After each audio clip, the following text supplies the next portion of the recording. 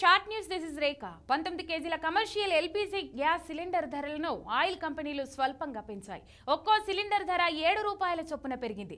దీంతో commercial gas cylinder ధర చెన్నైలో పంతొమ్మిది వందల యాభై రెండు రూపాయలకు కోల్కతాలో పంతొమ్మిది వందల రెండు రూపాయలకు ఢిల్లీలో పదిహేడు వందల ఎనభై రూపాయలకు ముంబైలో పదిహేడు వందల నలభై రూపాయలకు చేరింది. ఈ ఏడాది కమర్షియల్ గ్యాస్ సిలిండర్ ధరలు గరిష్టంగా రెండు వేల ఒక వంద పంతొమ్మిది వరకు పెరిగాయి. ఆ తర్వాత తగ్గుతూ వచ్చిన ధరలు మళ్ళీ జూలై నాలుగవ తేదీన పెరిగాయి. కాగా డొమెస్టిక్ ఎల్పీజీ గ్యాస్ సిలిండర్ ధరలు మాత్రం యథాతథంగా కొనసాగుతున్నాయి.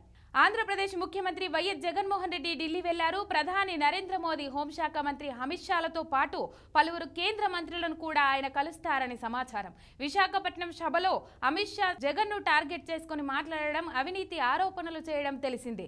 ఆ తర్వాత అమిత్ షా వైఎస్ జగన్ల మధ్య జరుగుతున్న భేటీకి ప్రాధాన్యం సంతరించుకుంది.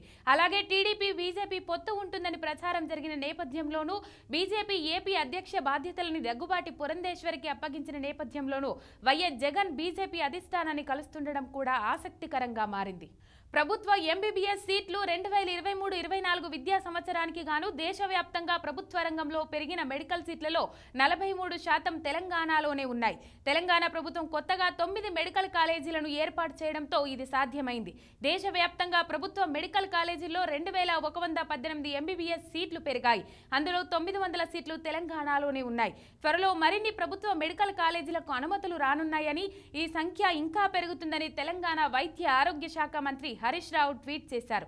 పెరిగిన ప్రభుత్వ మెడికల్ కాలేజీ సీట్లు అన్ని తెలంగాణ విద్యార్థులకే చెందనున్నాయి.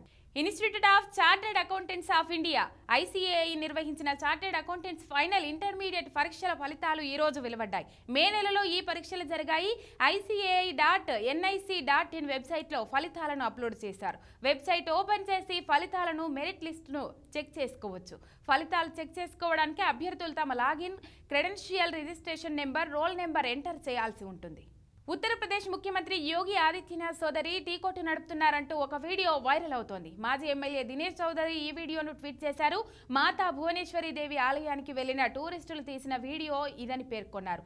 రెండు నిమిషాల ఈ వీడియోలో కొందరు కారులో కొండపైకి వెళ్ళారు. అక్కడ ఒక చిన్న టీ దుకాణం ఉంది. ఈ టీ కొట్టు యోగి ఆదిత్యనాథ్ సోదరిది అని ఈ వీడియోలో చిత్రీకరించిన మహిళ చెబుతున్నారు. ఈ దుకాణంలో మహిళ ఆమె భర్త ఇద్దరూ సొంతంగా పనులు చేసుకుంటున్నారు.